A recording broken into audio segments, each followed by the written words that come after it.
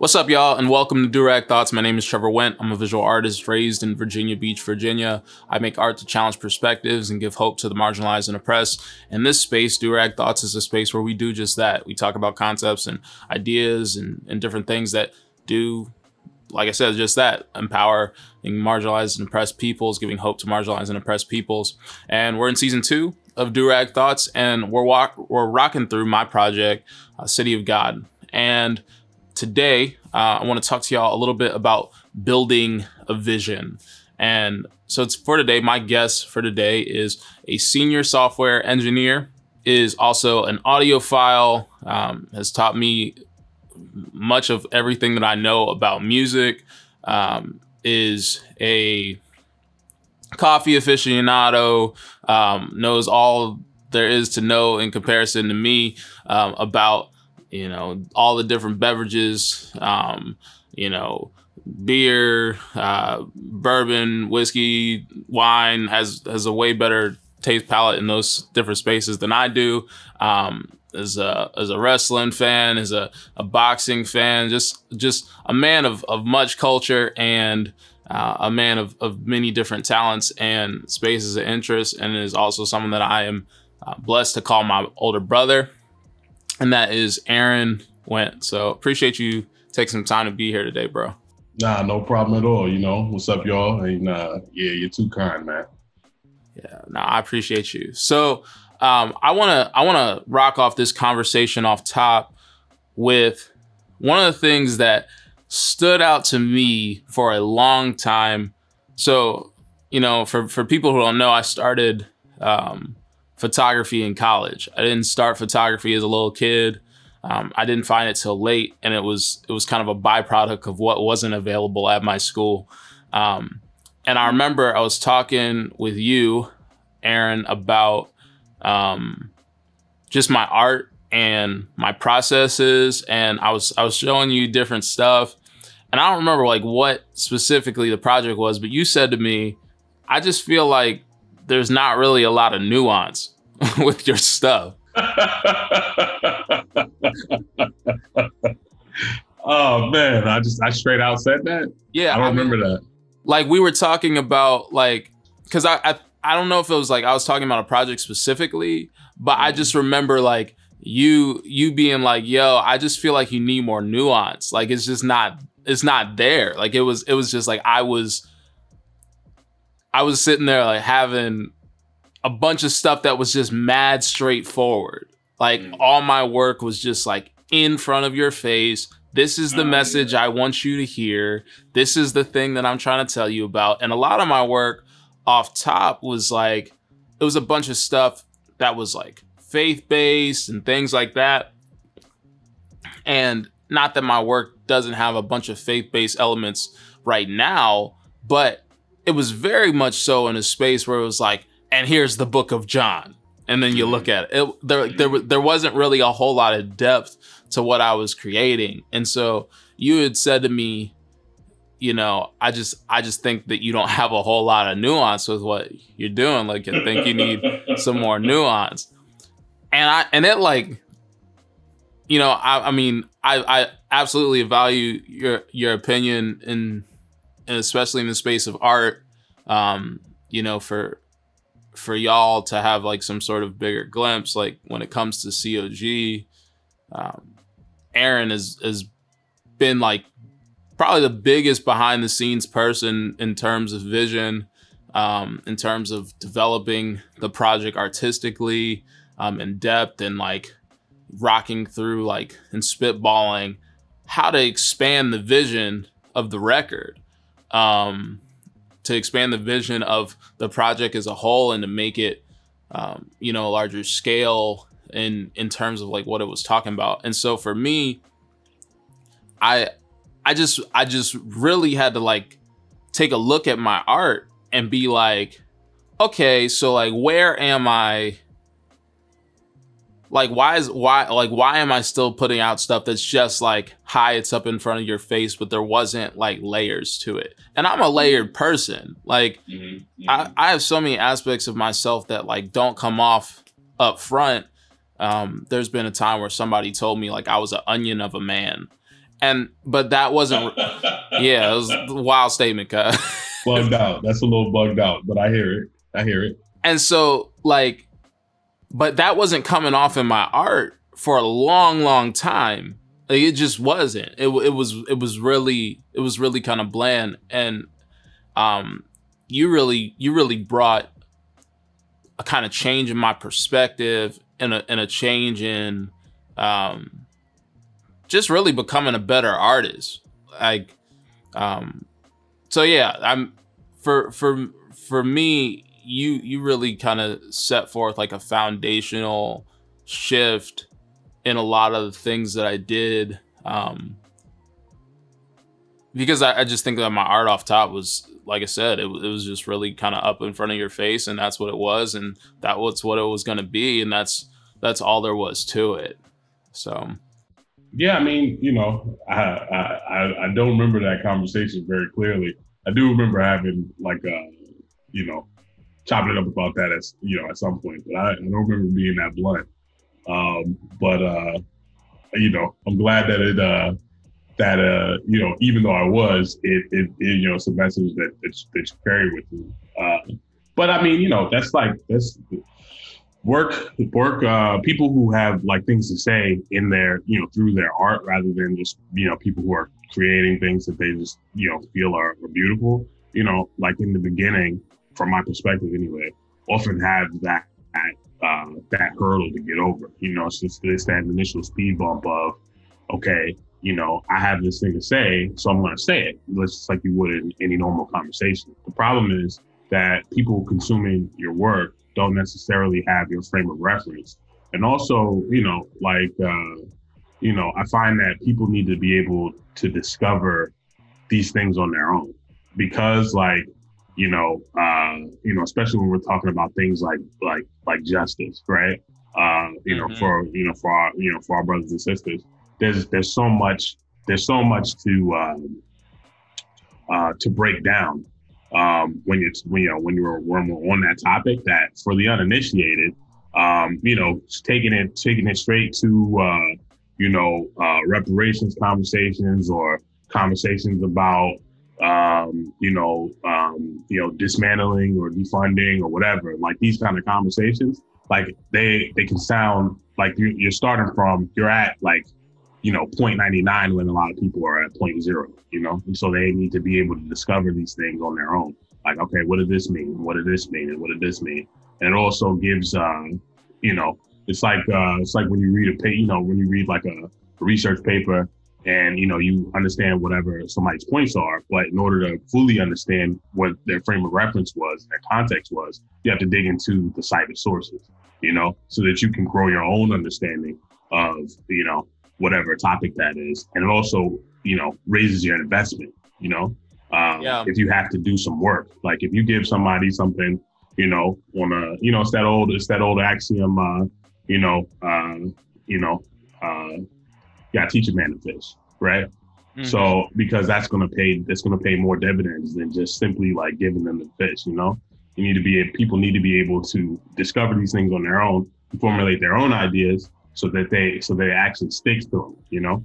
Um so um so yeah, I mean, you know, this uh you know, and I mean also we grew up in a time where like that that nuance I think in our art and uh, you know, uh, just in you know in the black community was you know, not necessarily nuanced just in general, you know, like the people we like uh, grew up on and, you know, from a music perspective is like, you know, Ta, like Talib Kweli and like Common and like uh, mm-hmm. Kanye. And if you listen to the stuff that came out when we were coming of age, I'd say that there's not very much nuance at all.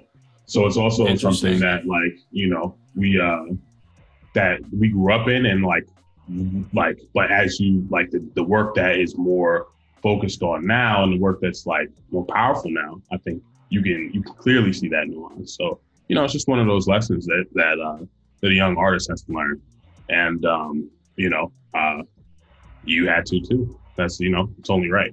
Yeah. But you know that uh, but you know, as you mature, those things change, and um, you know, lucky I've been lucky enough to to to watch that uh, with you. Yeah, I appreciate that. I feel like yeah. I feel like when it when you said the thing about like yay and Common and stuff like that makes me want to go back and like listen to some of those records. Um, even though I'm not listening to yay right now.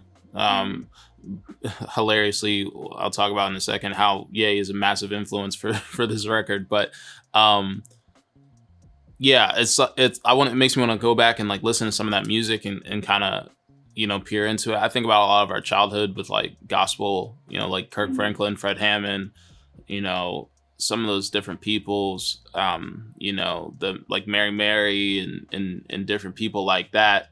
I mm-hmm. mean, the the art that I was so consistently surrounded by. I mean, you kind of have it with like the Nu Nation project. Like, there's a tiny bit of no, I don't know. You'd say there's nuance. There's storytelling.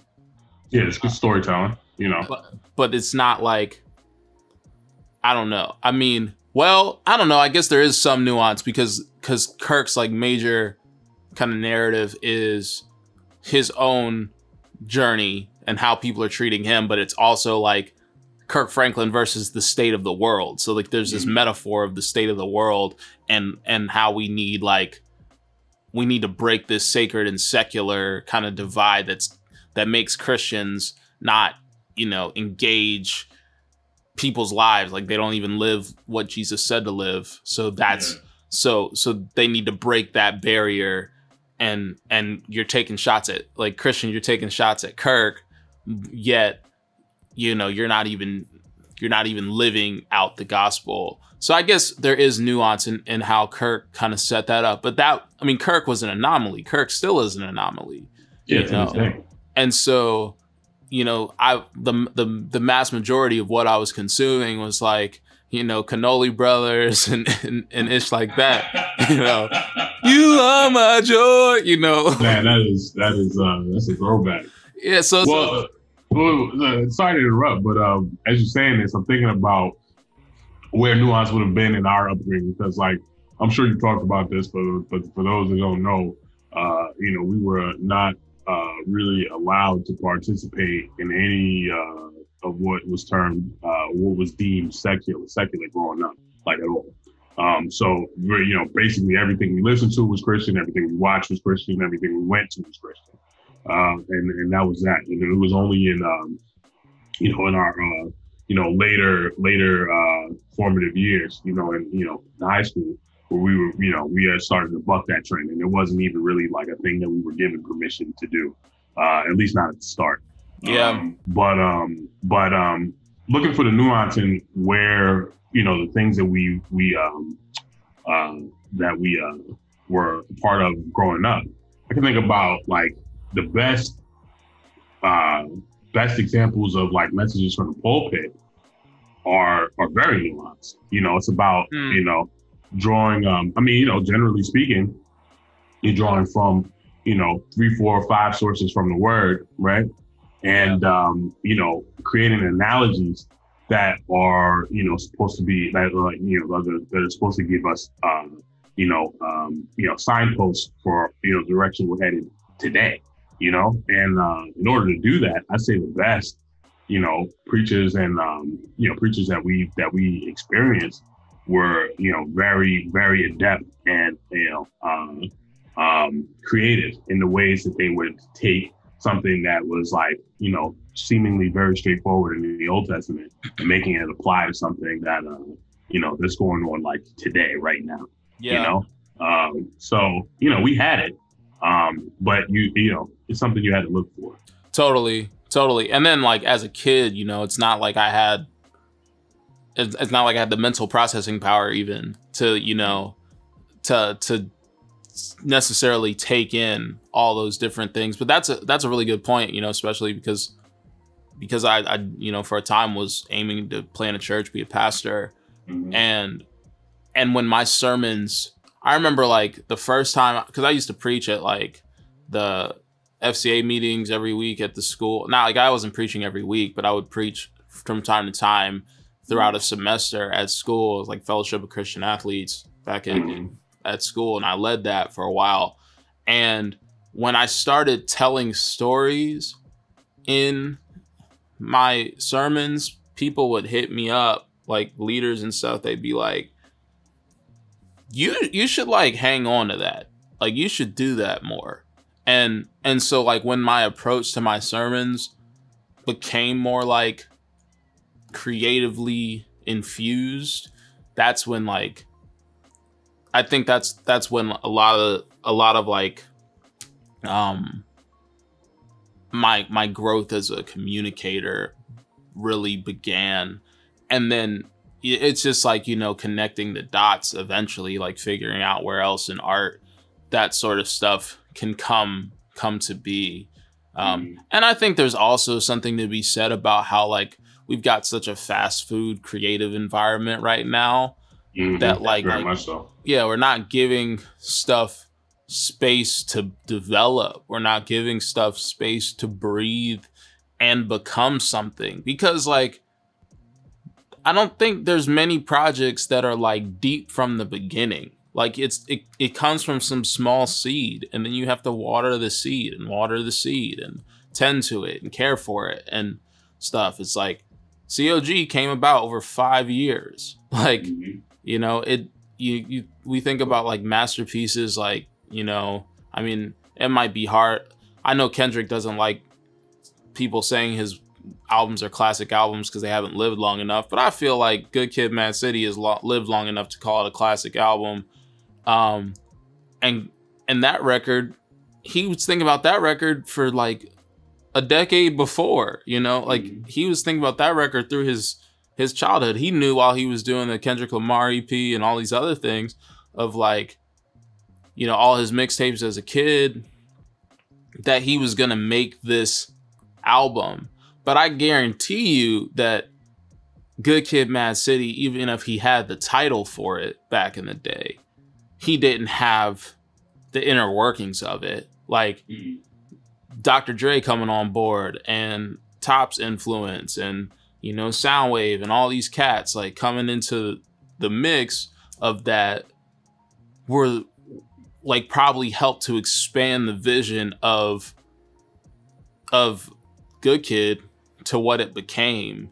And and i think that's i think that's one of the issues that we have in our culture right now when it comes to art is that aside from like the coles the kendricks and i know you're not a big cole fan um but and and cole i think conceptually cole is like cole's concept space isn't the same as kendrick's at all i mean i think for your eyes only was a good example of like mm him storytelling more. Um, and I'm I'm not the most astute J. Cole listener in the world, but I just think like I don't think KOD holds a candle to To Pimp a Butterfly in terms of conceptual storytelling. Um, and so, you know, I think there's there's only but there's a select few. You got the Coles, you got the Kendricks, you know, I'm I'm trying to think of other cats who are like really tell who are really telling stories who are of the of the top tier. But there's just a lot of like I'm gonna make a hit, I'm gonna make a hit, I'm gonna make a hit, you know, rather than rather than like let me like flesh out this idea to become something. And so yeah, I think that's one of the I think that's one of the reasons why um I think for me even and and even you know trying to keep up on Instagram or or even in the beginning, it's like you got classes, right? And so it's like the the professor gives you three weeks to get this ish done. But then you got 13 other things that you got to do for other classes. And then I'm wrestling. And then I'm like leading clubs. I'm a RA. Like I'm doing all these things. And so it's like, how the heck do you think that I'm going to develop a project to be as deep as it needs to be. Um, and I remember one of my professors saying to me, like, he was like, he wanted some photo students that were just photo students. Like, yeah, that's that's ridiculous. yeah. I mean, if college is supposed to prepare you prepare you for life, like think about all right, so you so you just laid out like, you know, the the the, the problem of like, you know, somebody, you know, like an, an artist going to college, you know, the the you know the reality is that yeah, there's your art, but then there's like the the 300 other things that are on your plate that you yeah. need to focus on as well and, and apply just as much of yourself to. But then take that and let you know put that into the real world. You know, I mean, like we are we are expected to, you know, or it's you know we we want to be able to keep up with everything that's going on on all the different social media platforms, keep up with everything that's going on in the world in general. And we're talking about, you know, I mean, just keeping up with news in the United States is is troublesome enough at this period, you know in this present moment. Not even mentioning like you know the world, right? Because there's so much going on in you know in um you know in other parts of the world as well. So you know if you want to be a very well uh, rounded individual, it's good to have a you know an understanding of what's going on in the world, uh, you know, in current events, right? But then, um, you know, I mean, you just have your day to day life. You need to be able to, you know, to, to eat three square meals or whatever, you know, keeps, you know, keep healthy, make sure that your family's straight. You know, if you have kids, you have to take care of those kids. You need to be able to, you know, um, you know, have some leisure time so you that you recharge. But then also, if you are an artist, you need to be able to apply some of that time to your work. Like that's yeah. a lot to juggle. Yeah. You know, um, and it's uh, you know, so it it unfortunately like it has led to I think the you know this uh this issue of there is the expectation of what is um you know re- required in uh you know modern life is just there's so many things pulling at you you know to be able to engage with something over a long period of time and really focus on it is you know people are, a lot of people are hard pressed man they don't even have the luxury you know, I mean, you know, if you, you know, if you, if you're worried about, you know, making your ends meet, you know, you're worried about, about, you know, about keeping your house. You're worried about, you know, keeping your apartment, you know, keeping your job in this present moment. You know, how do you have the time to truly engage with, you know, with art or with society in general and not, and not end up, you know, focused you know, in your um in your in your own in your own world, in your own like immediate needs. It's tough. Yeah, that's real. It makes me think about, you know, as you said that and, and kind of push back on that idea from from what my professor had said. Um, it makes me think about Andy Mineo and he was talking about I don't remember what I was listening to a long time ago that he was talking about this, but he's really talking about how like um he was talking about how going to class and doing these different things were were like giving him touchstones to be inspired by so that he could make like have things that were getting like he was getting inspiration from in order to make art like mm-hmm. to make his music and so that that's one of the things that that's like it makes me think about that is like if you're not living, if you're not doing, if you're not rocking through, you know, I don't know, just just you're not having things to pull from, you're you're probably not going to have you know like depending on what your content is, but you might not have like the same creative output or you, your your work's going to change. It's like mm-hmm. it's like how people talk about like when artists start going on tour, right? Mm-hmm. How like all of a sudden their work starts diminishing in quality because they don't have nothing to talk about no more. Like their lives have changed so drastically from what they were before, or they're on tour so much that they're not even having the things to pull from anymore in order to um in order to uh to have a creative have creative fuel. Like they're not, not mm-hmm. my one of my mentors said this to me shortly before I moved to Raleigh. Um, was like he was ta- he was talking to me. I guess it, it, might not have been shortly before Raleigh. It might have been after, and I'd come back to Tennessee to go to class. Um, but he was talking about this concept of like digging your well deep, and he was talking about like pastors and stuff will get to this point where they're like their sermons are sucking they feel like dried up they don't have anything left and they feel like they lost their gifts mm-hmm. and he was like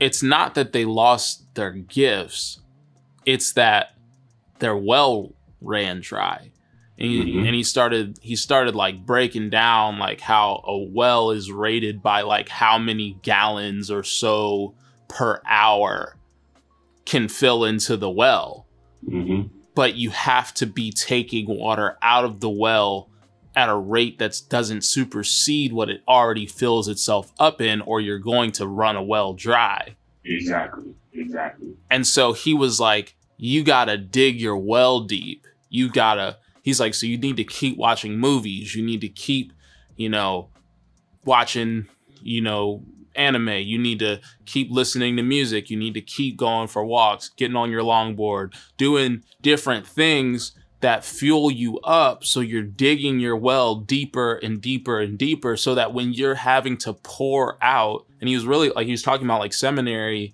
with like taking in different books and stuff like that as well like getting the knowledge and things like that that I needed and stuff. So I was di- so I dig my well deep enough so that when I needed to pour this out which is kind of what this is right now what Durag thoughts is in part you know I'm pouring out what I've learned and taken in and consumed over these years. And and so that you're not pouring out to others more than you're being poured into. Exactly. And so um that that really makes me think about that in the space of artistry um and in part honestly I don't know. I mean, I I do think there is some of that to be said of like, even though I was developing as an artist early on, but why some of my art wasn't as potent, you know, in the earlier years. Um, I think like you know projects like Imago. Imago was a good base in terms of like thinking about art experiences and things like that. I think the project conceptually um, needed a lot more, but you know, it was my first project of that scale. Yeah. Uh, so I have to, I, I, give myself grace in that, and I and I and I'm I'm grateful for what it taught me. But I think a lot of like, I think I think a lot of the, um, the hard the hard spaces for me in in terms of like growing a deeper space of my artistry was it really struggled because I was doing too much. like I was doing way too much, you know, in in college at times. Like there was a point where I called Krista, our sister, one of our mm-hmm. sisters, um, and this was before the school year started. And I was I was uh an RA, I was a captain on the wrestling team. I was starting. I was uh, taking whatever class load I was taking. I um, I was the vice president of SGA. I was the president of FCA, which had the weekly meeting. Um, I was leading a Bible study, uh, and then I was involved in my church in some capacity.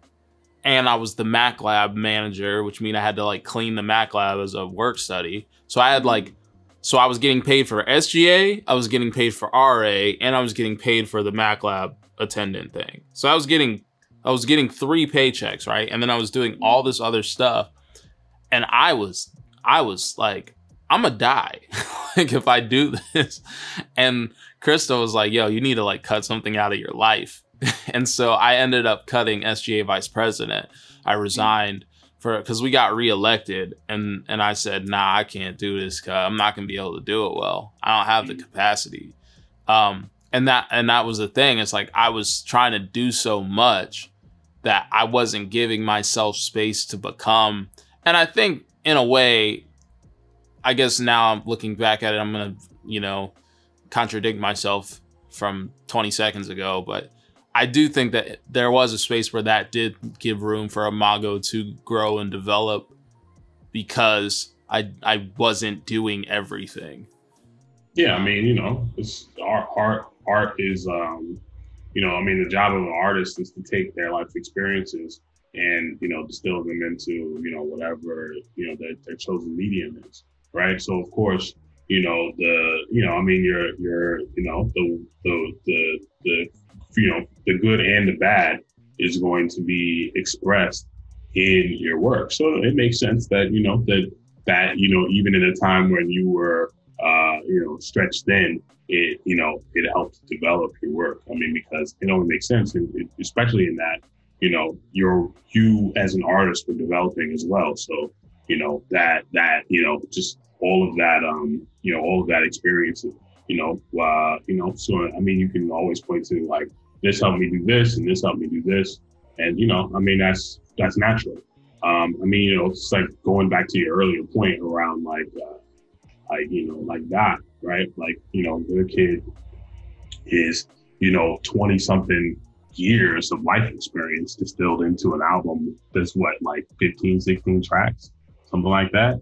Right. Like yeah. that's, that's the, you know, that's the, um, you know, it's a, it's for, for those who are not, you know, uh, who do not like have really any experience with like creative endeavors, it's, it, you know, it, uh, you know, they, you know, especially when we're talking about music, um, you know, people's expectation is that, you know, you just be able to pump out, you know, pump stuff out, pump stuff out, and that's, you know, and that's that. But, you know, especially if you if the, you know, the thing that you're, you know, um, you know, whatever you're doing is personal, um, and you don't have like a massive team behind you, there's no way that you're going to be able to sustain that type of, um, you know, creative cycle um, you know, that's where you're like dropping something every six months and so on and so forth, uh, you know, um, reasonable, you know, if, if the, you know, especially when you're talking about the artists that like the whole, their whole, um,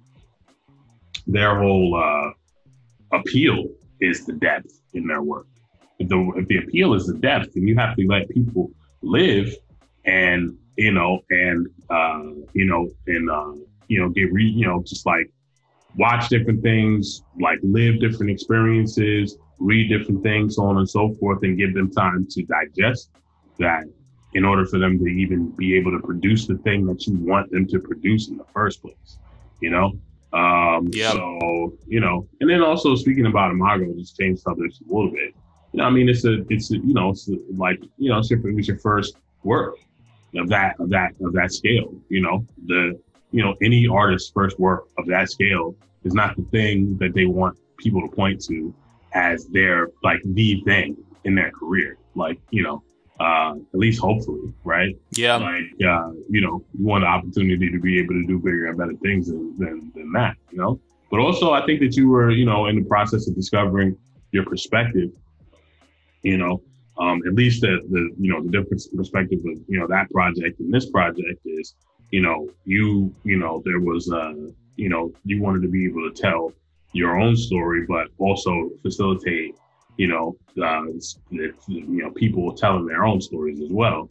Um, you know, be like, uh, you know, uh, uh, within a multitude of voices, you know? Yeah. you know, this is this, but the, the concentration of the work that, you know, the, uh, you know, forthcoming work is, it's very personal. It's not really about. I mean, sure there are other people's stories and other, other timelines going on within the work, but it's it's about you. You know, so mm-hmm. Um, you know that's this is like I think that I think that that project was uh, that project being Imago was like a precursor to this, and that you were trying to you know tell tell you know uh, your own story, but um, you know I think that you needed to have permission or at least you needed to learn, you need to be able to, to, to discover that it's okay to tell your story and that's it, rather than, you know, a multitude of other people's stories as well, you know? Yeah. Uh, you know, and, um, and, um, you know, that's, that, that, that takes time and takes maturity in order to, you know, maturity in, in, in you know, in, in oneself, but also in their, uh, in their, you know, in their art to be able to feel comfortable doing something like that. Yeah, and I think a lot of that that period of time. I mean, I talked to Krista about this a little bit too. It's just like um, that period of my life was such a becoming phase.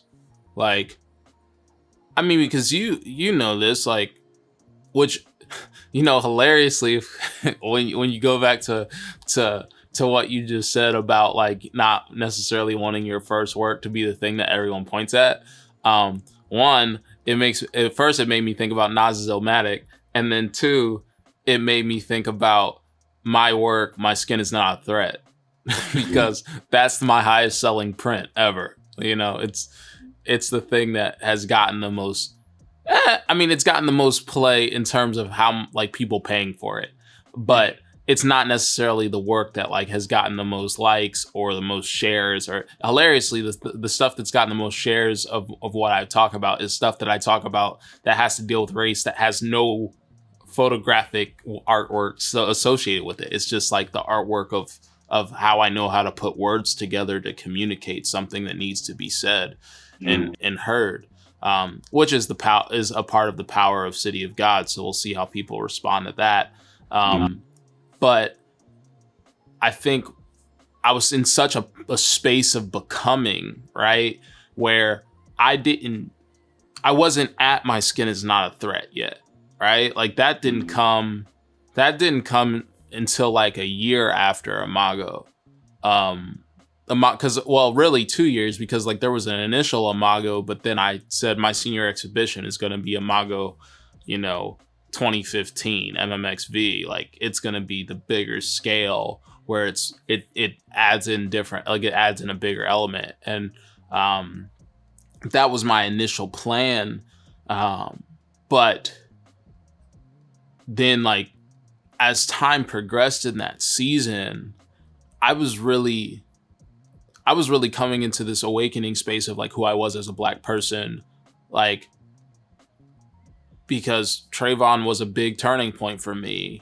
And I was experiencing a lot of racism at school, a lot of racism in in every avenue of life. I don't care if it was church, if it was the wrestling team, if it was um, people I was on staff with on the RA staff, um, if it was you know people I was around in friendships or people I was around in um, you know leadership through through FCA, like it didn't matter. There was there was racism happening. I mean, I was in in small town Tennessee. Like, yeah, I mean, you know, it's, it's gonna, gonna, happen out there. Exactly, it's gonna be everywhere. And so, yeah. I was really coming into this awakening period where I was like, I knew I because I, I mean, you know what it's like growing up. Like, you can point to plenty of stuff that is racist, but you don't have the terminology that people have scholarly like the scholarly community has created to to describe what this feeling is.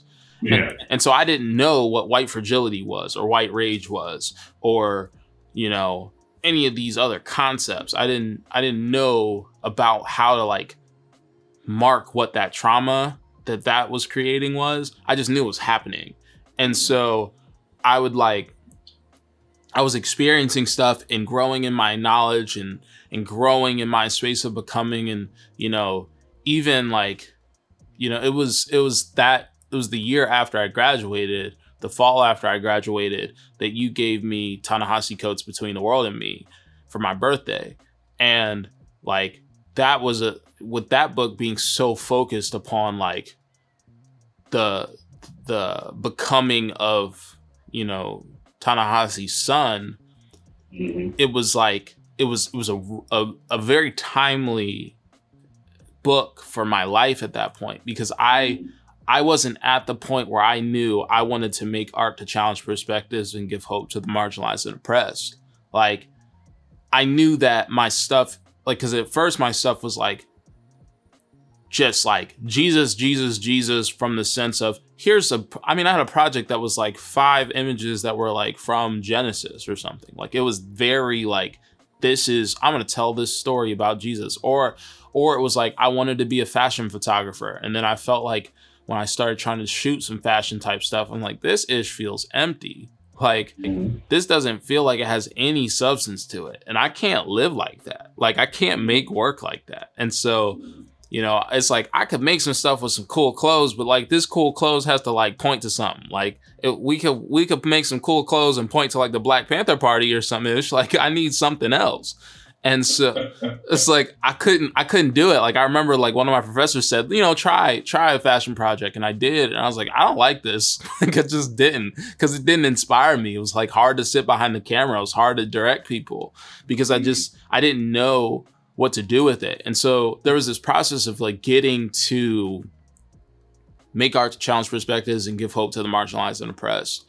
And when I got there, it was like, I remember I had this conversation with you like leading into seminary.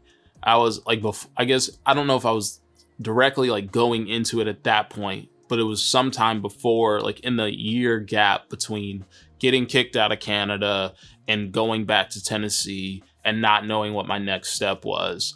And in that space of time, I was really like, okay, I I know what I want to be as an artist, but I don't have any work that displays that.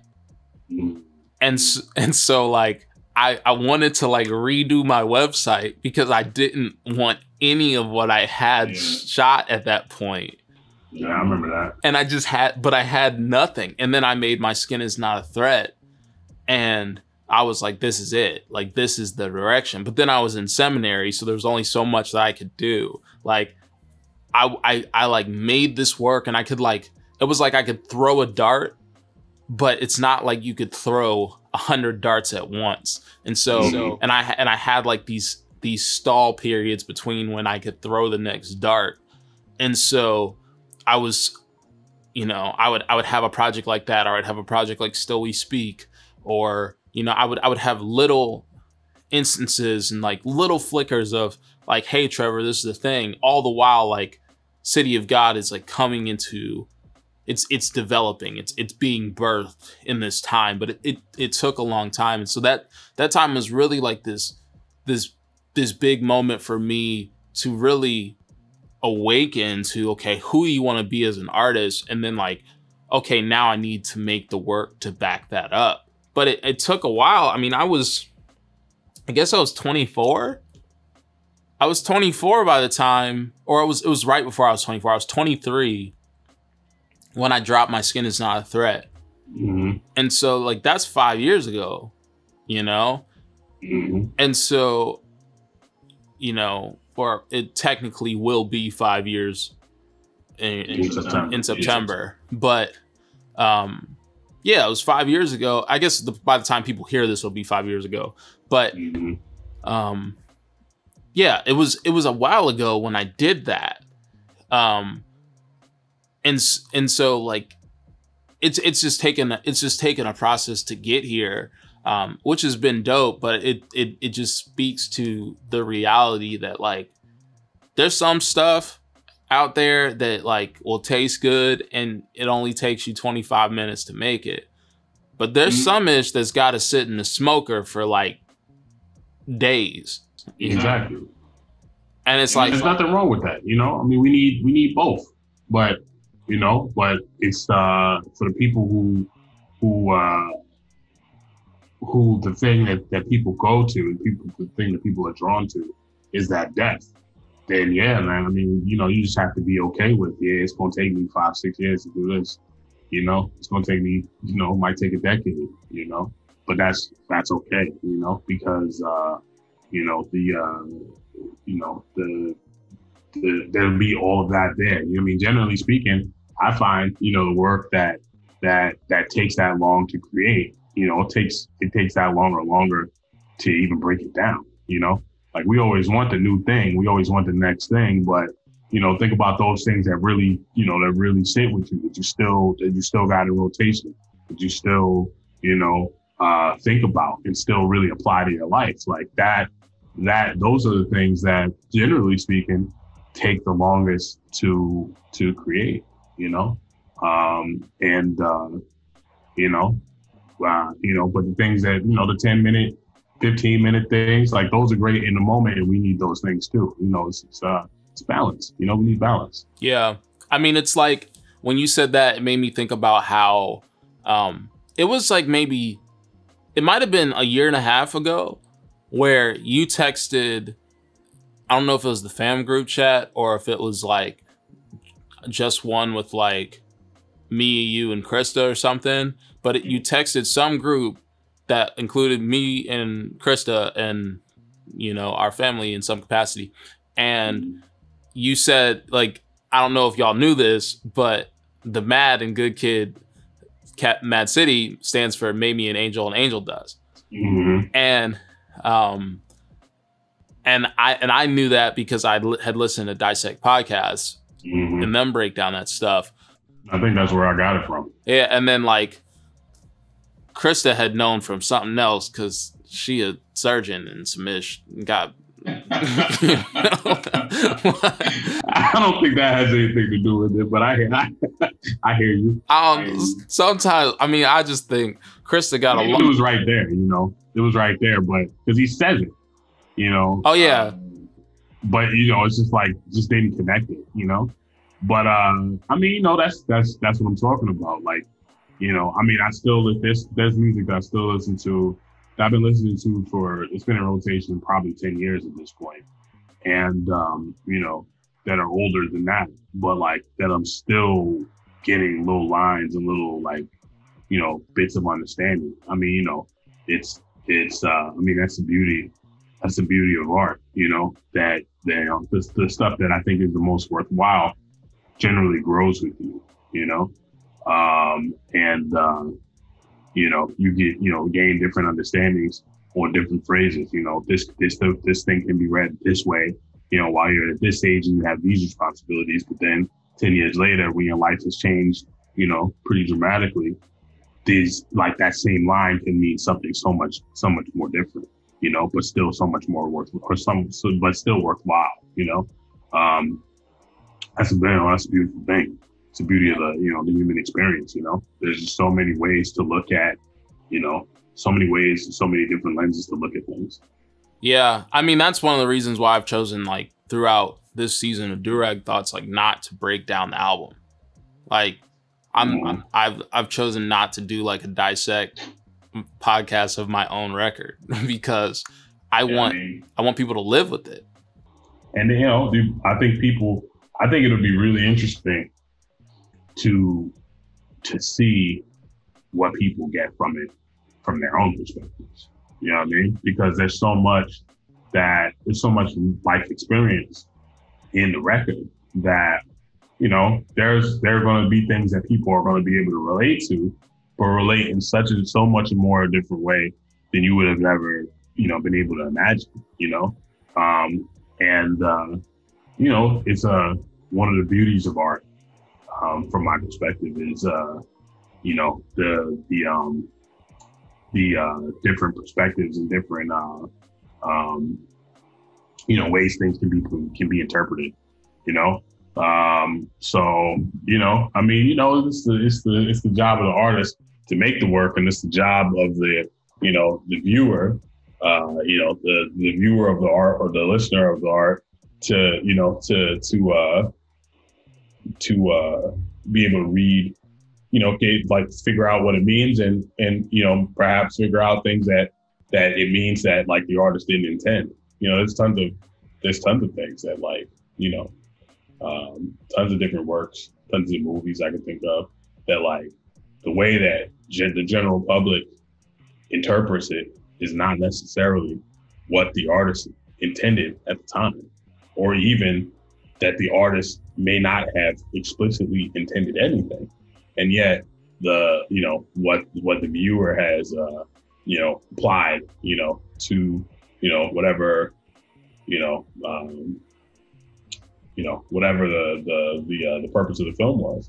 is you know just something completely different than they could have imagined, and that's totally fine. You know, with all you know, art is supposed to uh, to um, you know you just never know what the life of a, of a work will be once you release it. Yeah, yeah. I also have to note that you're the biggest film buff that I know, um, and that's been that's been super helpful with this project because like, um, yeah, I I I didn't really have anyone else.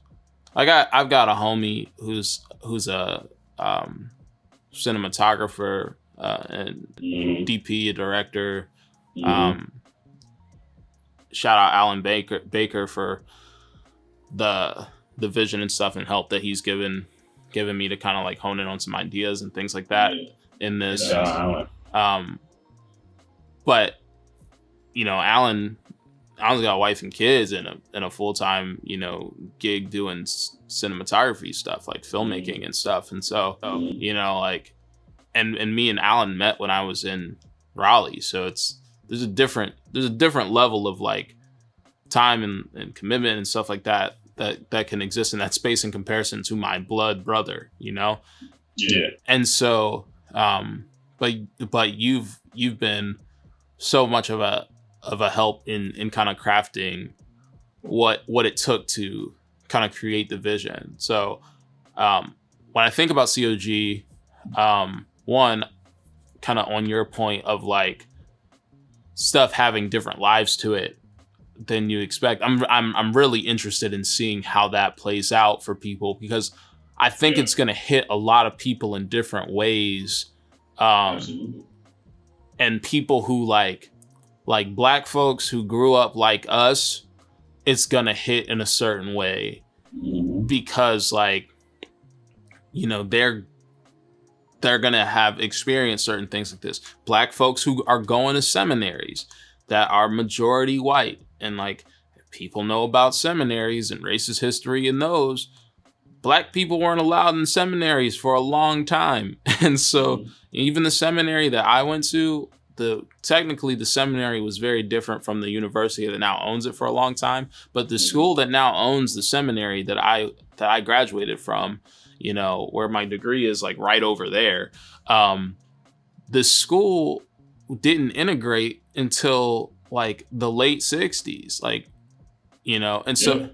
and so that ish was a part of that school too so yeah. like black folks weren't like black folks who who were like who experienced some of those things like you know homies like mine of like like calvin who you know who went to that seminary like people who are in seminary right now and experiencing you know different you know setups of racism and things like that they're going to experience it a certain way people who had experiences like mine in college are going to experience it a certain way.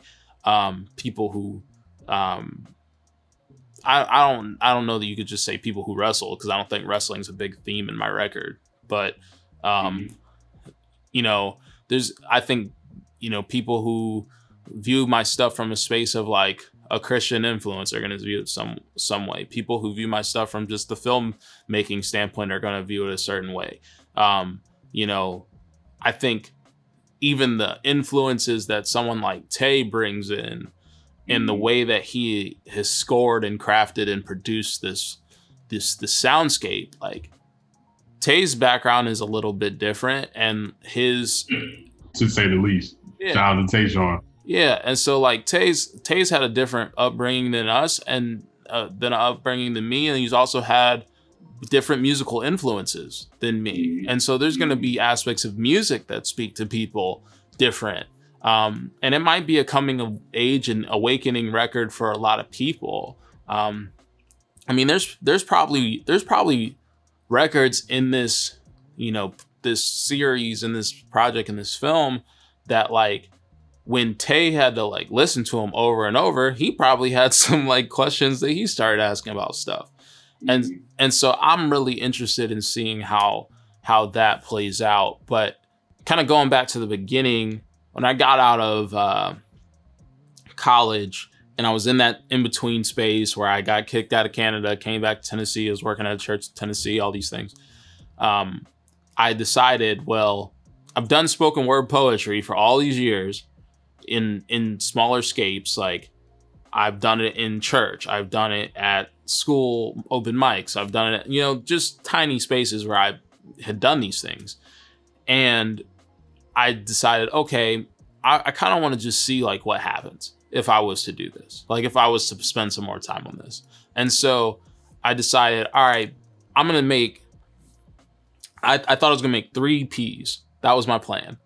And I decided I was gonna make one that was called College Days and it was gonna be like a five track EP, and it was gonna go freshman year, and there was like a theme to each thing. It was like freshman year was like mm-hmm. fronting, sophomore year was something else, junior year was something else, et cetera, et cetera, right? And then I had two senior years because I redshirted. Um, and then I was gonna have the Return of the Kid, which is what the working title was before it became City of God, which I kind of I knew for a long time the Return of the Kid was a working title. Um, and then I was gonna do something else that I think was like something about like blackness or something, but I just didn't. I didn't have um, a, a honed in kind of thing on that. Hold on, one of my mm-hmm. one of my lights one of my lights just flickered. Okay, anyways, so back to it just like powered down and then came came right back. Yeah, and I'm like, I it's probably because I have a piece of tape on one side of it because the fan was kind of loud. Mm. but it's been going for a minute, so I thought it was good. I didn't think I was gonna have a problem with it, but well, it's back now, so we'll see how long it rocks. Yeah, I'll pull the tape off if I need to. But anyways, yeah. um, so yeah, so I thought, okay, I'm gonna do that, and then I remember like I'd written, I'd written like wasted words first, which became wasted way, um, because that's that was something that was like visceral that I was feeling in that time, the, the way those friendships were playing out, and and how how I was rocking through like the lack of just the, the isolation and loneliness, and then I just I kept writing and I kept writing, and I kept writing over the years, and it just like I thought I was gonna I, I thought I was gonna have a producer um, you know set up at that point. I talked to a friend and thought I was okay, okay, I'm gonna knock this out. And then I didn't. And then I kept writing, kept writing. And next thing you know, I remember talking to you, I was like, I've written like 12 tracks. So I guess I'm writing an album. and I was just like, all right, like I guess that that's where we're at. Like it wasn't the plan initially at all. Um and I and I don't remember if it was still City of God at this point, but I remember like so so one like there was already like okay I had a seed of something that I just kept watering through writing and realized there was a larger narrative to tell here because I was going through so much and I needed to process it somehow. Um, like I was enduring so much in that time period, and it was a real. I mean, it's a, it's a coming of age project. It's a coming of age series. It's a coming of age record. Um, and so I remember the big turning point in terms of development was when I was moving downtown in Raleigh, which would have been like 2017, I think. Yeah, 2017. And it was like it's like mid-year 2017 and i was lit i found dissect podcast and shout out dissect. And i started listening to the sections or the the seasons that they had on um on good kid mad city slash to pimp a butterfly and uh, my beautiful dark twisted fantasy. And my Beautiful Dark Twisted Fantasy is my favorite record of of all time um, at this point, I think. And so, um, I I started hearing like Cole Cuchna lay out the depth of why Ye chose this tone on the piano for Runaway and why Kent like what the narrative Kendrick was telling here and what the underlying narrative was with, you know, Sherane or Lucy or, um, you know, how my beautiful dark twisted fantasy was all about the Taylor Swift moment, and I didn't even know that. I just thought thought the songs banged, and like all these different pieces, right? And I remember I called you up, and I and I had like written basically the whole City of God at this point, and I called you up, and I was like, dog, I don't think my record's deep enough.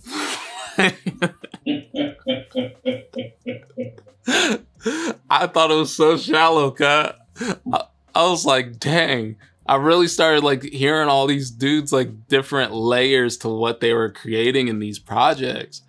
And I was like, yo, like this is so much deeper than anything I created. And then we started having conversations about I was like, I feel like maybe I need to have like an adversary, or I like I was like, oh yeah, that's right. I, yeah, yeah, on the Lucy tip. Yeah, I was like, maybe I should have some sort of adversary or something like that. And you were like, yeah, I wouldn't mm. force something. And we were we were trying to play out like what could potentially come about. And then I don't remember if it was called City of God at this point. I don't think it was. It, it wasn't. I don't remember what it was called before, but it, it was. It, so before it was the Return of the Kid, and well, I, I, never even heard that title before, so I'm not sure what it, what I knew it as before City of God. Yeah, I mean, might have just called it the album. Yeah, I mean, there was like Return of the Kid, Coming a City, Building. Like there, I remember when the city theme kind of came into play. Mm-hmm. Um and and it was somewhere within that space of time like this whole concept and I really was like like after we had talked and I was thinking like do I need an adversary do I need like some underlying narrative and then like I started thinking I'm I'm I'm just building. Like I'm becoming who I am. Like these the building blocks of who I'm becoming. And so I remember I remember going back to like I had taken a week of vacation because I, I would always suck at taking all my vacation time. And I took a week of vacation and it was just gonna be a staycation. And I went to basically every day to the same coffee shop in, in Raleigh. Shout out Jubala. Um, and I went to Jubala and I posted up in that coffee shop and sat on them stools with my little vanilla latte and I and I oh and they're bacon egg and cheese biscuits which are crazy. And so I, I know you don't eat that swine, but that Jubala swine different cuz that Jubala swine. If, if you say so. um but yeah, so but I, I rewrote most of the record. Like I didn't change I didn't change the bare bones of the tracks, but I like rewrote certain tracks. And there were certain tracks I just like rewrote the whole thing. And I really embedded this theme of like building a city more so. Uh, because it wasn't like that's I, that's where I really felt like the building blocks of this thing really sat in. Because I think there was one edge where I was going to try to force something because I realized that their stuff was way deeper than mine. um, and then there was the other edge of like, but what is this already saying? And like, what can you press deeper into rather than trying to force this thing to be something that it's not? So, yeah, I mean, that, that space was so much of a, of a big turning point. Um, and a, and a and a changing point in that that time of the record. Like, I don't know, like, like what do you remember about that time? Well, yeah, I definitely remember the the uh, yeah the conversation around the depth of the record. Um, and uh, I mean, you know, this is before the music like was a you know before before Tayshawn was on the project. Um, you know, I mean, it was a completely different you were it was a complete was in a, a completely different space. Um, you know, a lot of the themes and all of that, you know, were were still very much uh, you know, in their infancy, if they were even if they were even being talked about.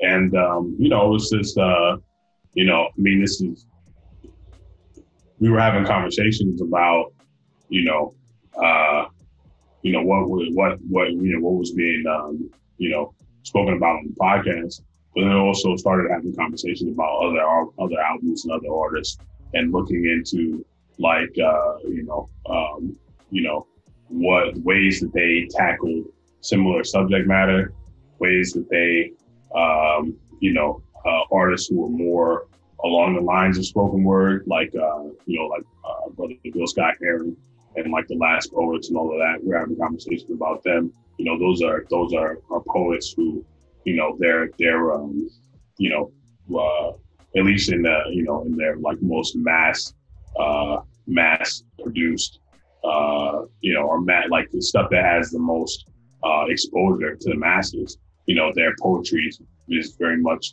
paired with music. And so, what lessons you can learn from those artists and things of that nature. You know, it was just like, um, you know, it was like a, you know, I mean, I, I think that in that period, the record became like a, a, a record, you know, rather than like, uh, you know, a collection of spoken word. You know, it was like, uh, you know, this is that that is what that's the period that kicked off the, you know, uh, you know, where we ended up today, where you know, the music is is as important to you know, and then the you know the the um, you know the visual aspect of it is as important as the words themselves. They, you know, they can almost be, you know, uh, their own independent projects. And so, you know, what those, because of like those layers, you know, people, you know, there's, there, there are going to be all types of interpretations and, uh, you know, um, uh, you know, things that people really are drawn to, um, you know, that um, it's going to be hard to predict. Um, but um, you know, I mean, it's a it was a you know an artist journey. You know, like um, you know, the it, it just goes to show, from my perspective, that like, you know, I mean, I think like at the time, if you would have been, if you would have told your you know your younger self, you know yourself in 2017, that it would be three more years before the album came out, like you would be horrified. You know, uh, by the amount of time that you know that it was going to take. And yet I would say that every, you know, that that that all of that time was worth it. Because you know, like you said, this is the this is something that like, you know, I, I was talking about this, uh, you know, something similar with a friend of mine uh, not too long ago. You know, this is like this is like one of those things where this is like a bouillabaisse. You know, you have to like, you know, the, all of these all of these uh, in different ingredients are in the pot in the stew pot but if without the without the time to simmer, you know, without the many hours given to simmer, the the what it, it what it was in the beginning and what it is after that period of time, it couldn't be more different. You know. Yeah. Um, and uh, that's important. That's important. You know, I mean, it's it's not it's not something that that uh, you know we necessarily emphasize in you know in our uh, in our society at the moment. But you know, like sometimes things take time, and um, you know this is I think that can very much be seen in you know the the uh, the you know the uh, creation process of the album. Yeah, you're right about if I would have told myself three years ago it's gonna take three more years, nigga, I'd be pissed. yeah, I know. I, I can I can hear I can almost hear the you know the reaction right now, you know. But it's if every every single one of those days I think was worth it. You know, the project. Uh, I mean, you know, it's it's uh, you know the at least my my understanding of art is that like at the end of the day, there's gonna be gonna look back and you're gonna say, oh, I could have fixed this and this could have been better and so on and so forth for the rest of your life. But you know, I think that uh, you know, given uh, you know uh, a three year earlier release, you know, if you were looking at it at that work where, where it was today, um, you know, where it was at that time today, you know, there would be a lot that you would want to change. And, um, you know, this, you know, it's that, that I think that happens a lot with, you know, different works because people are, you know, at the end of the day, like a lot of people, this is people's livings, you know, and, um, you know, in order to in order to pay the bills, you gotta put you gotta put work out sometimes, even if it's not ready. Yeah. Um, and uh, you know, that's to the detriment of the work and to the detriment of your your own appreciation of the work. So, you know, uh, like, yeah, I mean, you know, it may not have been necessarily ideal the amount of time that you know it would take from then to now to to, to put the album together, but I would say that it's well worth it. It's a good trade off. Yeah, I think one of the big things too is like, because even a year ago, if you would have told me it was going to take another year, nigga, I'd be pissed. Like I, I was. I mean, you had to talk me down from some of those cliffs of like, I was just like, I wanted stuff to be moving faster, um, mm-hmm. and, but I was also, I mean, I was still in tension of like, am I going to make this, of you know, a series? Am I going to make this like am I gonna make this a visual album? Am I gonna make this uh, you know, you know, as it's releasing like this, it's releasing as a YouTube series. Um, you know, this this kind of short, in a way, a short film series. Like, am I going to actually do all that? Because I knew it's what I wanted, but I also didn't know if I had the personnel, and I knew I wasn't gonna be able to like throw a bunch of money at it because I worked at a church and you know didn't I was gonna just have to ask favors from my homies, um, which ended up working out pretty well. But um, I remember I went to I went to Cali last year to shoot a wedding for one of my my closest friends in high school.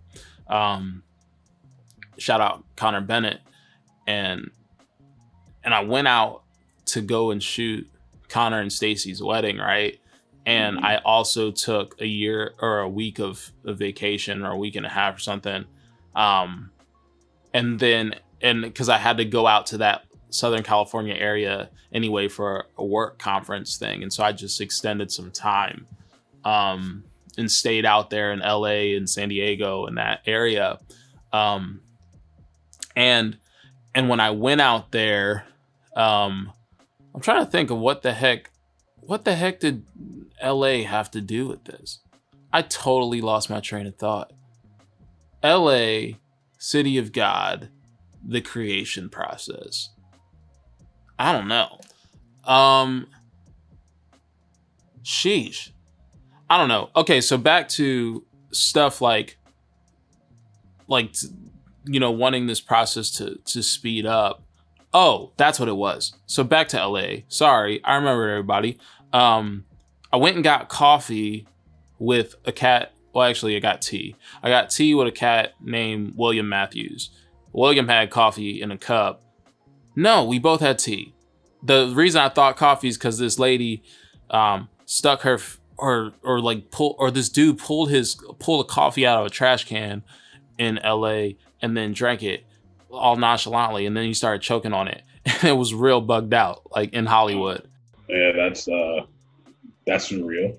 Yeah. It also sounds like Hollywood though. Yeah, and then and then William told me this story about how a friend of his um or someone or no this I tweeted about it and then this girl uh tweeted back at us and she said that like some lady walked up to her in in Hollywood and stuck her fingers in her coffee and said it's cold and so she said I handed her what was formerly my coffee was now her coffee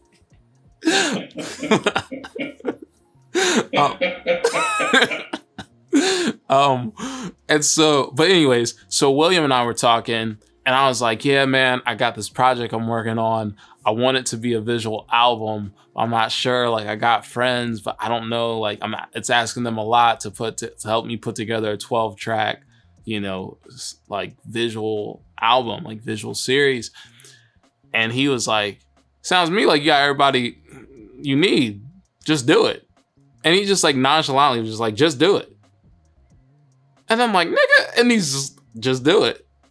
And it just kind of changed stuff for me, you know, like mm-hmm. I was like, all right, bet. Like I'm gonna I'm gonna just do it. Um but then so so I had that, but then I also so well like this this will come kind of later in the project, but um, my boy Matthew died of of leukemia mm-hmm. two years ago in 2018 and the last time I saw Matthew, um, I got, I had dinner with, with him and his wife Brittany, who y'all have, will have already met if you've if you've kept up with the whole Durag Thoughts season two series so far through journeying through the series COG. Um, and Matthew like this is the night that Matthew told me that he had leukemia. I didn't know this was coming at all, um, or that he probably had leukemia. Um, and Matthew was doing everything that he possibly could to try to get this series off the ground, um, or to get this this project, you know, to come into fruition. Because he he believed in me a lot, um, and so like the mic that's behind me, Aaron, from your perspective, you can't see it, but within the shot, like there's there's a shelf that has like the book of Matthew because it says Matthew on it, and then the mic that Matthew gave me to to do like demos and stuff on. He tried to give it to me that night, but I had already I was using a mic from the church, but after he died, I I, I asked if I could grab it if I could get it. Um, and Brittany brought it to me. Um, and then a pair of headphones that he had given me to be able to monitor my audio and stuff. Um, and so I like Matthew, when I told him that, he was like, when are you trying to get the project out? And I'm like, I'm thinking by like August. Um, and he said, like cool that gives me a goal to live till and so you know then he ended up he ended up dying like it was like a month ish later from that point. It was it was not that much time at all. It was it was within the next like month and a half. Um and i felt like i had placed an immense pressure on myself from that point forward that like that project like once i was starting cog like i needed it to come out like as soon as possible because i had promised matthew that i was going to get this thing out and i was going to give him this goal to live towards um and and then it was just like delay after delay after delay after delay which all in all was helping the project to become better. But to me, I was like, I had put this pressure on myself. I don't know if it was because I didn't want to feel like I failed my friend or what, but I was there was some sort of space where like, you know, you, Aaron, had to talk me down from some cliffs in terms of no, this thing needs to come out. And you're like, cuh, if the thing comes out two months from now or now and you spent five years on it, don't you think like it's just okay? like to just take the extra two months? And like some of those conversations really brought me down to earth to like recognize that it's like, yo, sometimes you gotta let stuff breathe. Um, and I think what I really had to come to recognize is like to honor Matthew with this record, who this this project is dedicated to Matthew. It's like it's to do the best job I could possibly do. It's not to hold on to it and pull a Kanye with, you know, the life of Pablo and and change the mixes every three days on Tidal. But you know, it's it's to do the best work that I can do and try to get it out. And then once it's out, like take my hands off the steering wheel and watch how it affects people's lives. So um yeah, it there there was definitely that space where it's like like you said stuff had to simmer you know the ingredients were together but stuff had to simmer and take the ample amount of time that it needed to to be able to become everything that it needs to become um and for me it's like I mean, I think about so many college projects and things like that. I always had too big of a vision in comparison to the time frame. Like I don't I don't have that gene where I don't have some gene where I can like look at the time frame and make a determining assumption upon okay, so I've I have this much time to do things and I have like like this is the this is the concept that I'm going to think of within that space because when I think of the concept that I think is scaled down, it's actually still scaled three times too big. Mm-hmm. And so um, I don't have at this point in my my career like anyone to kind of bring me down to earth to be like, hey, like if you really want this to come out in this amount of time, you don't really like you're thinking too big still. Um, and and or like you're gonna need this many more people in a team to be able to execute this. And so I don't know, there were so many pressures on myself in that, but I think like I guess the moral of the story within this space is really like you got to give yourself time to if you're trying to make a project that's deep that's like that really has depth to it that really has um you know layers that it's going to take like you said Aaron earlier like the 5 to 10 years or you know to unpack it and still keep hearing different things and keep seeing different things in it and in the new life that it gets to it because of all the time you took to create it, you've got to be able to let that stuff steep and stew and and really become all that it's meant to become because if you rush it you're you're gonna miss some things.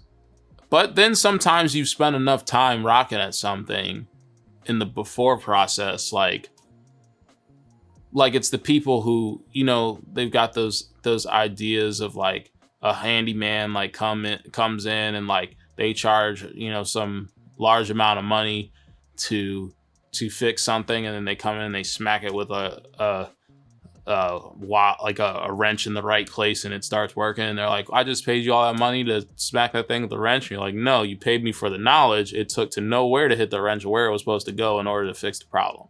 Exactly. And and so like there's times where like people you know like Lecrae just dropped a record restoration which is is kind of funny because there are some similarities between his project and mine. Mm-hmm. and and i have no communication with Lecrae about anything. Um, mm-hmm. But Crae's project, he said, some, in some spaces you could say that it's taken five years to really make it, but it's really been like a two year process, which hilariously is kind of COG too. mm-hmm. um, but and but Crae one has a million more people working on it. But like there was a track that Crae, I think within the time frame of the current revolution, you know, brought on by the murders of Breonna Taylor, George Floyd, and Ahmaud Arbery, um, that I think Crae like wrote in like a day and recorded a video within the next week, and then it made the album. And so there are times where like cer- certain things just like turn over but it's because you've done all this work and all this steeping and all these different things. It's like there's certain things where like there's certain dishes where you got to steep the thing or like you know do all these things to prepare something. But then there's also like this topping that really only took 10 minutes to make that's supposed to be like an like it's also an element that's included in it. But it just doesn't take as long to make that part but it doesn't make it less of a part of the dish it just makes it it it mat it, it fits in because you knew you were going to that point and you could add this in there mm-hmm. um and so i think about that too is like sometimes people can make hits in a moment or they can make they can catch that scene or you know denzel improving the king kong ain't got on me like you know whole situation, like that whole mm-hmm. space. And it's because Denzel had all this experience beforehand, done all this work in the theaters and all that stuff before he ever got to that moment. Exactly. Exactly. I mean, you know, that's that's that's uh all of that experience and all of that knowledge comes with time. You know, so uh, you know, this album, you know, this project took you know, something like five years to put together. The next one might not necessarily take that long, you know. Uh, and that doesn't mean that did that, you know, it was rushed. It might just mean that, you know, the the uh, what you were trying to say and what you were trying to to um, you know to uh, to uh, to show people didn't you know didn't it just it just took it was a little bit more uh, concise you know but with something like this it takes a long time and that's that's fine. You know, you just have to know, you know, um, or you know, you just have to discover, you know, what the right amount of time for certain things are. You know, because even you know, if you're talking about, you know, talking about like the handyman that comes in and and makes the ten minute the ten minute fix. You know, that took him 20 years to be able to discover. That handyman is still going to run into jobs that might take him a week too.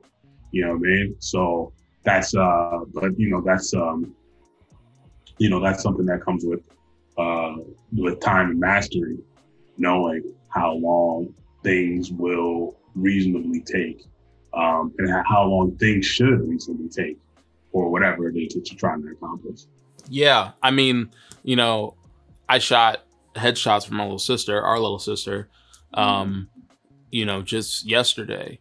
And, you know, I ain't charge her nothing, but I don't. I like she asked me how much I charge, and I was like, you don't want to know that figure, and um, because I'm I'm not gonna charge my little sister for something like that, um, and it's like people might look at those photos and be like, dang, like you're a professional. It's like, yeah, I am. And it's like, how long that take? And I was like, yeah, I mean, we shot it like an hour, you know, and and it's like to get the shots that I wanted, like it didn't take me long to get the shots. Like I could have got those those shots in half an hour and ten minutes, fifteen minutes. There's a there's a part of it where like you have to get to the point where someone's comfortable.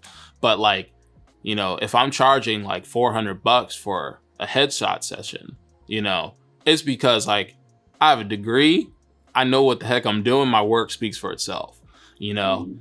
and and it's just like people have to to kind of kind of take that stuff in because yeah, it's and yeah, it might take it, it might take a fraction of a second to push a shutter and for it to to you know open and close, or if it's a mirrorless camera, just to capture it. Um, but it it doesn't mean like it's it's what a person knew in the space of how to create that environment, how to communicate with the subject subject, and like how how to to photograph. So I guess like to to kind of sum this this conversation up, um, and and what it what it kind of takes in like building the vision of what it took to make COG is like it took time. It took it took time, but it also took like um it took development. It took me digging my well deep. It took me having conversations with you and you know like you think about it it's like it took the growth of our relationship as brothers it took the growth of my relationship with my friends you know it took the growth of the relationships between family like you know it's because all i mean having conversations and, and spending time together and getting advice like that's all growing a relationship. And then um, it took me it consume continuing to consume more art um, even at times like there was a time in that that period of time where i was asking you for recommendations on films because i'm not really a film buff i watch a lot more series than films hence why cog is a series and not you know just straight up a film because that's how my head thinks like I want to show you a show because I feel like there's more character development in it. Um, but um, when it comes to that stuff, I was asking you for advice on different things to look at because I needed to to see better visuals because I wasn't I wasn't looking at cinematography and, and stuff like that off top because I would I didn't go to film school. I went to to a school that had a photo department, you know, and so it took to growing what my artistic influences were, um, gaining a more critical eye for film, for for shots, for um, for audio, for you know, I mean, I had to learn about audio mixing, audio recording, um, how like you know, like trying to trying to you know soundproof a space in some capacity. Um, I had to learn about all these different things. It took all these different relationships, all these different conversations over years and years and years and years to get to a point of creating this record.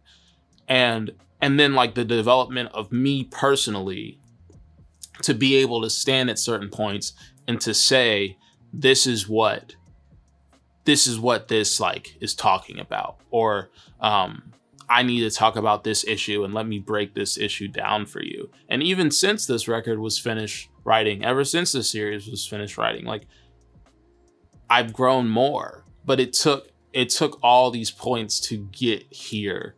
Um, and so yeah, if I guess if there's someone listening to this who you know wants to create is like looking to create some form of a project and wants something with with depth and stuff it's like don't be tricked by the quick social media, Instagrammable, you know, let me show you how to get 10 million followers in a week type thing. Like, you gotta, you got, if you're trying to make art, I think there's a big difference between art and content. Like, not that content can't be art, but I don't really like the term content. I don't, I don't really like the idea of content creation. I like, I, I like the idea of art. Like, I, I've put on my IG plenty of times more art, less content um like don't be tricked if you're trying to make art and bodies of work by the content sphere It's like content you know has its place you know i there are plenty of youtube pages that i follow that i watch that are dropping stuff weekly and it's more about you know volume and those things still add value to my lives my life but and add value to plenty of people's lives but the perspective that that I'm aiming for sits within the realm of like building a vision for an artistic, like full on depth filled project. And so it just takes time to develop stuff and allowing yourself to fail, allowing yourself to grow and allowing yourself to rewrite and take critique and having people in your life who will tell you that stuff sucks because Aaron is that person for me. I mean, for real, for real. You are like you are the person who, like, the reason that I show my art to you more than anybody else when I'm really trying to get an opinion on it is because I know that you're gonna keep it 100 with me, and you're like, you're gonna straight up say, nah, that ain't it, bruh. Like, uh, I think this needs more of this. Like, uh, you're kind of on the way, but that kind of, eh, it's not it. And and I just know that there's not a lot of people who do that, and or who are afraid to do that, or like you still have to build a re- relationship to get to a point where someone can like, you know, who who's who's going to be more willing to to kind of press into that. And so, I guess trying to surround yourself with people who are going to tell you the truth and then to give yourself time to to fail and grow because I know for me like I'm not a quick turnover type person. Like I'm a person who if you give me time to develop something and do a work and a project like it's it's going to be better. But if you're like I have to be quick draw on everything, it's just not going to work. Um and I just I think some of the better projects in the world do take some time.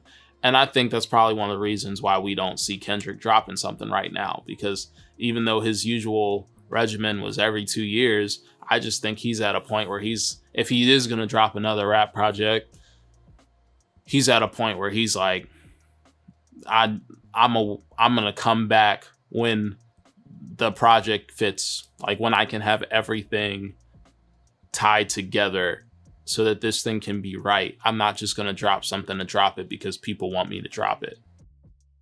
Yeah, when things are ready, they're ready. You know, I mean, you know, for people who turn things around quick, that's a beautiful thing, you know. Uh, but for, for some people don't, and that's okay, you know. Um, and uh, you know, we, you know, we. I, I hope that one day, uh, you know, that is more of a a mass like opinion. You know, there's you know just some people you got to check in every once in a while and see the new thing. You know, uh, some people you know gonna put things out immediately, and you know that's uh that's uh the variety that uh you know that's what you know we need that balance. So you know uh yeah you know I'm glad I could uh uh you know contribute to the process you know, in whatever ways that I do so, you know, and uh, yeah, man, we're gonna, we're gonna see how it goes.